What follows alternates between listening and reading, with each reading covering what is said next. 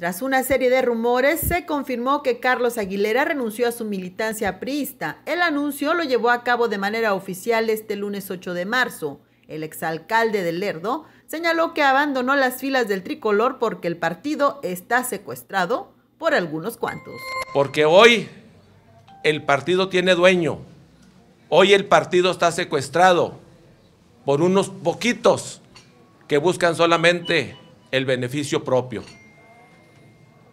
Créanme que estoy contento por esta nueva etapa que empieza en mi vida política. De esta manera, Aguilera Andrade se suma al proyecto del Movimiento Ciudadano y posiblemente se postule para la candidatura por el Distrito 13 o por la Diputación Federal por el 03.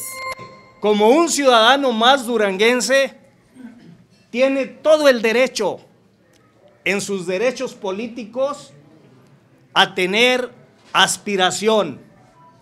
Y en su momento, él y el Partido Movimiento Ciudadano, cuando la ley electoral establezca los tiempos, se habrán de tomar decisiones si aspira al 03 federal o si aspira al distrito local décimo tercero.